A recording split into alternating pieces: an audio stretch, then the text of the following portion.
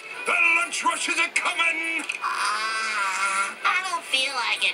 Why don't you ask me later, Krabby? Ah! I mean, I'm working all day for free. My treat.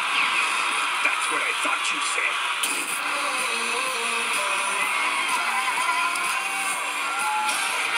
Nickelodeon's all-new Are You Smarter Than a Fifth Grader? Hosted by John Cena. Catch brand new episodes weeknights at 7, starting tomorrow. Nick.